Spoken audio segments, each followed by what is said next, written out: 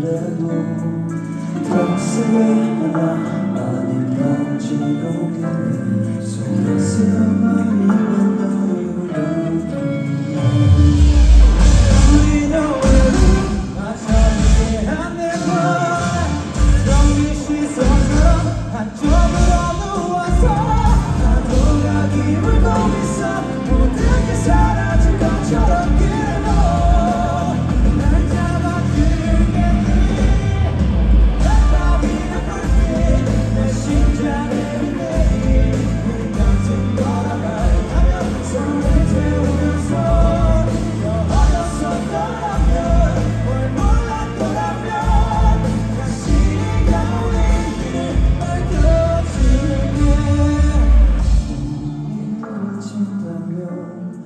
있었던 널 타고 흐르고 있다면 어쩌겠어?